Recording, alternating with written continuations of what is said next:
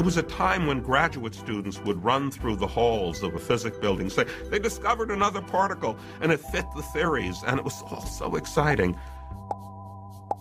And in this zoo of new particles, scientists weren't just discovering building blocks of matter. Leaving string theory in the dust, physicists made a startling and strange prediction that the forces of nature can also be explained by particles.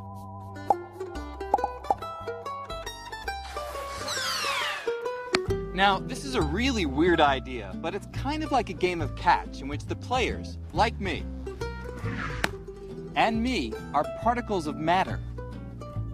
And the ball we're throwing back and forth is a particle of force. It's called a messenger particle. For example, in the case of magnetism, the electromagnetic force, this ball would be a photon. The more of these messenger particles or photons that are exchanged between us, the stronger the magnetic attraction.